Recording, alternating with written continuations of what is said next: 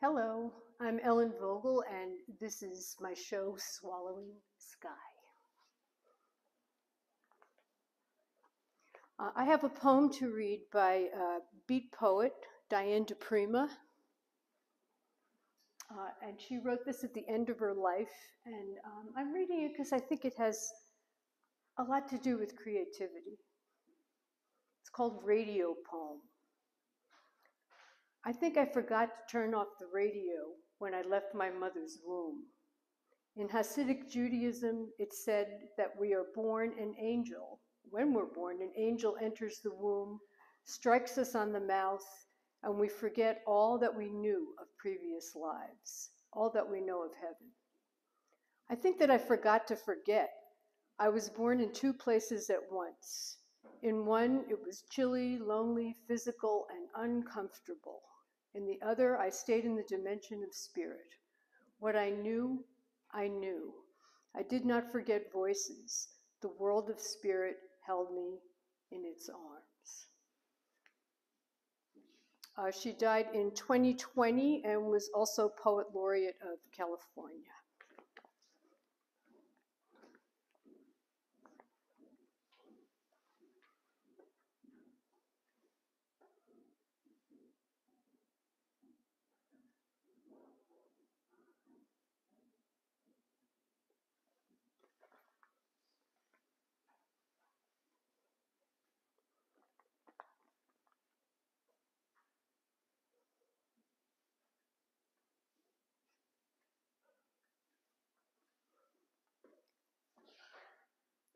I've been working uh, with newspaper for several years now. I feel like the news has started to dominate our lives.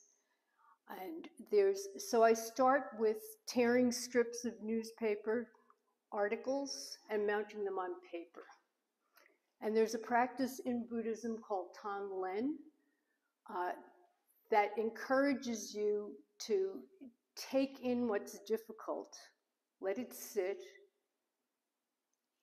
and then breathe out a deep breath, uh, a request for a moment of silence, um, whatever you think is appropriate to the situation. So that's what I'm doing here. I'm responding to the news.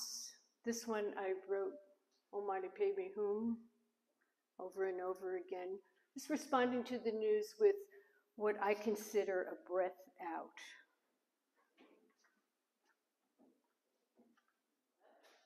These are prayer beads made from particularly difficult newspaper articles um, that I collected and then made into beads.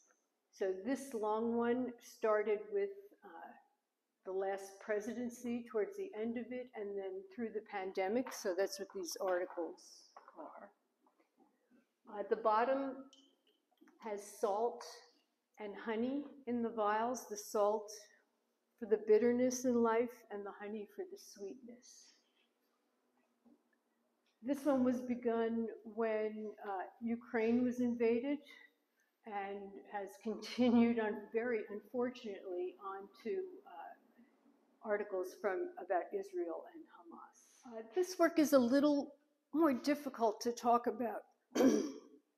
um, and I think of them as all tactile expressions.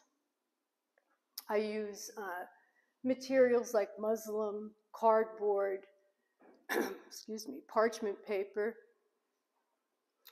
acrylic, ink. So generally all of them have some tactile quality to them.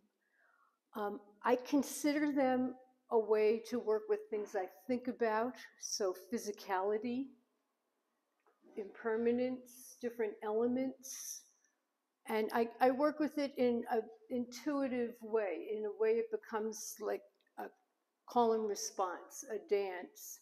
And for some reason, it seems to satisfy emotion, helps me rest easier. Thanks for looking, and I hope you get to come in person to beautiful Point Reyes and see the three shows that are up.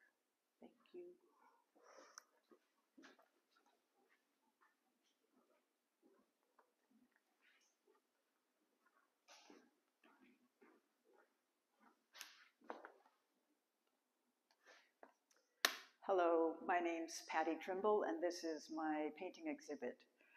And it's actually a narrative. I've been reading Donna Haraway's book, uh, Staying with the Trouble, and she calls for new narratives about uh, regarding climate change, about uh, humans on the planet. So I thought I'd try to do that in paint. Uh, Haraway suggested we work with nature to try to tell a narrative. So I started in the forest, and I had um, experiences with the forest where I realized that the forest is this huge cycle that really you can't tell a narrative about because it exists in time. Forest is more about being than a story. So I tried to paint the merging of the burned forest and the green forest. And I went through this kind of thinking with paint project where I just kept painting until I figured that I was getting it. And at a certain point, I thought, you know, the forest, the green forest has the burn in its heart, and the burned forest has the green in its heart. And then I just maybe turned more attention on myself and humanity at that point and just thought about that, um, you know, the forest's equanimity with life and death, life and death, really for 420 million years.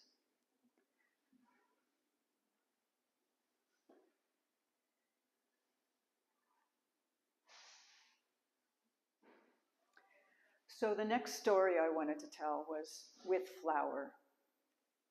And I began with the invention by the cells of the plant ovule. And these paintings needed more of an imagination because I can't tell the story of flowers. It's way too complicated and long.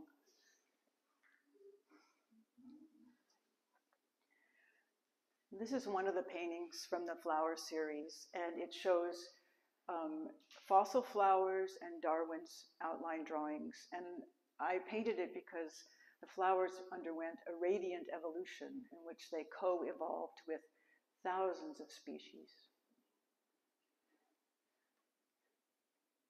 And in reading about the flowers, I really am so astounded by their intelligence.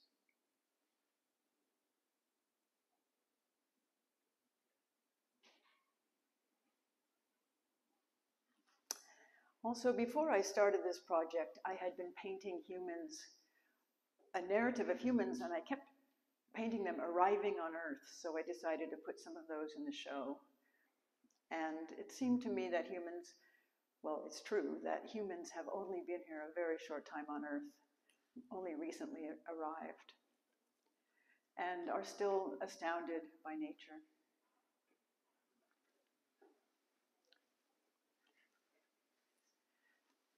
And then I began to think how we tell stories, and I felt like humans have landed also in story. And I painted two of uh, pretty common narratives. One is of Paradise Past, and the other is of a chaotic or unpredictable future.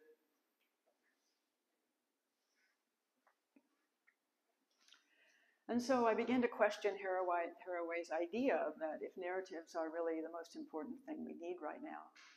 I just don't know. And this is a painting from uh, two years ago I had, and I thought, you know, this is sort of where I am with this, that humans and plants live on the planet, and the intelligence of plants is amazing, and we're working to understand it. I'm Vickisa, and I'm having a show, Gallery Route 1, The Vickisa's Love Supreme. Welcome, come on in.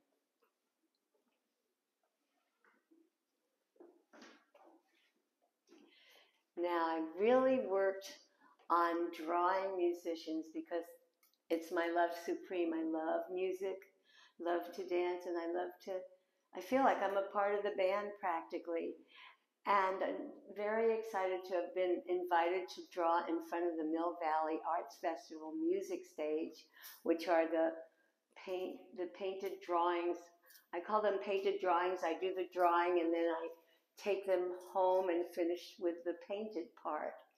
So they're from the Mill Valley Art festival music stage. And then the smaller pieces that you just saw were from the Dining Under the Stars in San Rafael, California on 4th Street. So I was invited to do both of these things, and I've been doing the Mill Valley Art Festival for what, at least 10 years, I think. It's hard. I don't keep track of numbers, but I do love to keep track of musicians. I have been making fold out books at events and lots of places. I've done over 60 books, and I'm particularly fond of the two that I have in this show. This one is the Hardly Strictly Bluegrass 23, which I've been doing a Hardly Strictly Bluegrass forever. And on the front are drawings that I do uh, in the place in front of the musicians as close as I can get. And people are really nice about it. So the other book is a book from New Orleans from the French Quarter Fest. I must admit, I got a little carried away. The book is seven feet wide when you open it up and flatten it out. And that's a pretty long time to be making a book. But it's a free festival, as are both, and it's just a wonderful place to to be, and it makes me really happy. So the books are a big thing for me, and people like them. And these are artists' fold out books that are limited editions, which I painfully put together. And on the back of them, each of the book, the B side, is photographs that I've collected at the event and writing about it. So it just goes on. And I just wanted to say that this is a very fond friend, and I've become friends with a lot of the musicians as well. Wavy Gravy, great person. And Groovy, the bird of Judy.